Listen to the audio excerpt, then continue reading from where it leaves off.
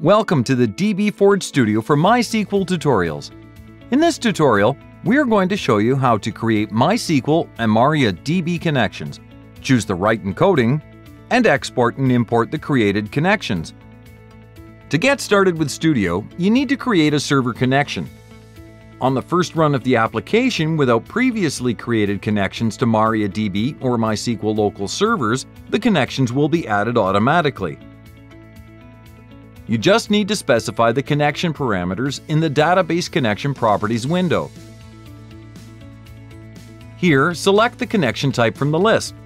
TCP IP is used most commonly and is set as default, so you don't need to change anything.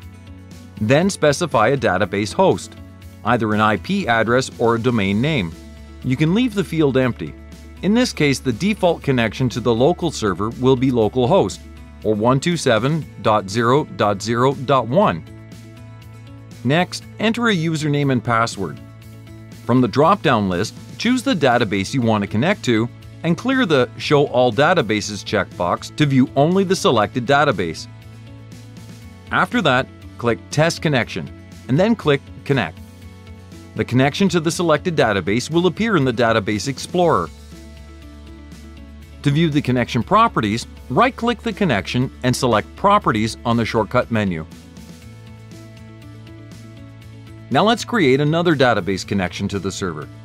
You can do it by clicking the New Connection button on the toolbar or in Database Explorer. In the window that opens, enter an IP address, a domain name, or leave the field empty to connect to the local host.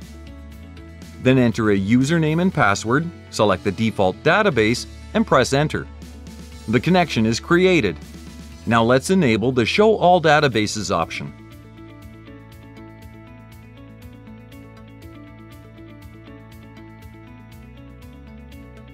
When you first run dbForge Studio without the previously created connections, but with the installed local database servers, connections to local servers will automatically be added to the Database Explorer. To open the connections you've created, enter the password. To view data in any table, select Retrieve Data on the shortcut menu. To modify the connection properties, click Modify Connection on the shortcut menu and switch to the Advanced tab in the Database Connection Properties window that will appear. Here, you can configure additional properties. Connection timeout means that you can specify the required period of time after which Studio stops trying to get the server's response to open the connection. Execute timeout means that you can specify the required period of time after which Studio stops trying to execute the query. Keep in mind that 0 sets the infinite wait time. If data is displayed incorrectly, set Unicode character encoding. After that, verify the connection and refresh Database Explorer.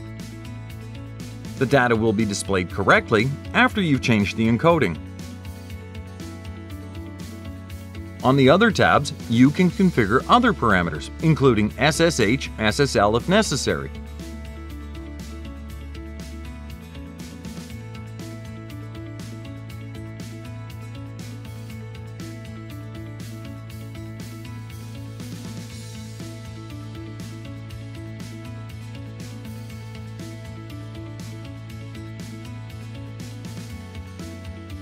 Also, you can save your connections using the Import and Export Settings wizard.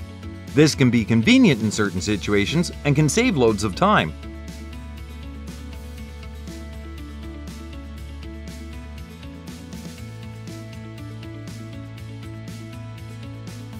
After successful export, delete all connections and import the ones you've saved.